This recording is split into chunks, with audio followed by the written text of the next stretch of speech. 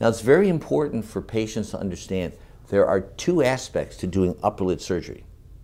One has to do with the brow, one has to do with the upper eyelid. For example, I always tell people look at pictures when you were 20 and 30 years of age.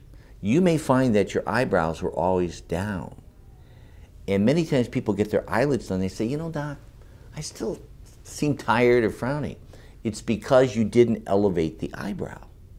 So when you look at the eyelid complex, positioning of the brow and loose skin. So in many cases, we do a brow lift, coronal lift, in addition to an upper eyelid lift. And that can be a dramatic result.